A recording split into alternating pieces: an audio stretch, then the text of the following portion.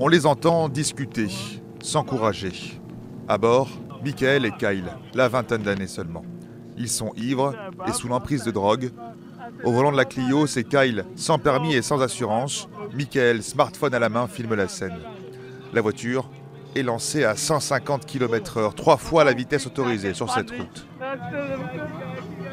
Michael se sent en danger. Il demande à Kyle de lever le pied.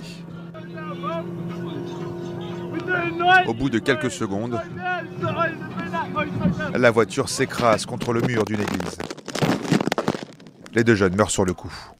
Cinq mois après le drame, ce sont leurs familles qui ont décidé de rendre public ce rodéo fatal. Objectif sensibiliser les jeunes au danger de la conduite sous l'emprise de l'alcool et de stupéfiants. Par cette campagne choc, les parents de Michael et Kyle veulent sauver des vies. La vidéo a été visionnée plus de 7 millions de fois depuis sa diffusion par la police anglaise du Sussex.